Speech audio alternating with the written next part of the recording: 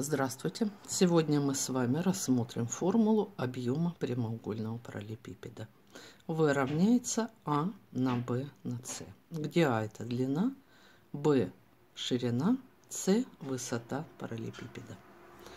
Формула довольно простая. Итак, чтобы ей воспользоваться, необходимо знать измерения. Пусть А это 1, Б это 2 и С это 3.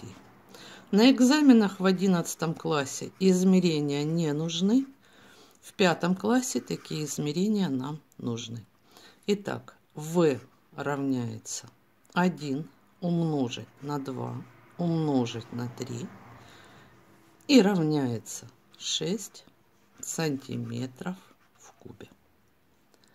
Но иногда необходима другая задача.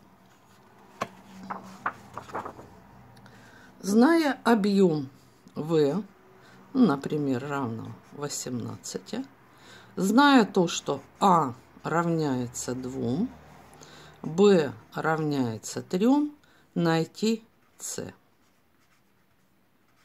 я буду писать сантиметры, потому что в пятом классе измерения обязательно должны быть. Итак, что мы должны сделать? Мы должны вспомнить формулу. В равняется А умножить на Б умножить на С. Вместо В мы пишем 18. А это 2, Б это 3. С нам неизвестно. Дважды 3 – это 6. И мы можем записать 6С равно 18. От того, что вы поменяли местами, уравнение не изменилось.